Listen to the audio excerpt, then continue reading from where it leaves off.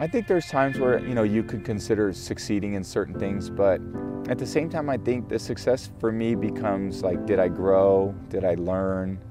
Um, did I become more conscious? Did I evolve? And that just comes with me being a lot around a lot of great people, you know that um, that challenged me to be that, and challenged me to be a little bit better and a little more knowledgeable and a little more conscious of the things I do in my life.